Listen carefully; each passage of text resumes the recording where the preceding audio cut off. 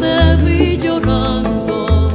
con profundo sentimiento y me asaltó un pensamiento que me está martirizando, pues no sé qué me provoca esa lágrima, mi cielo,